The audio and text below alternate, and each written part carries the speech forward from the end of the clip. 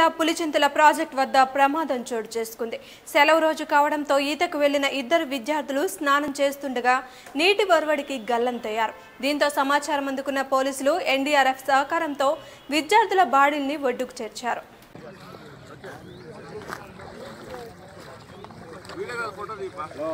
Sir photo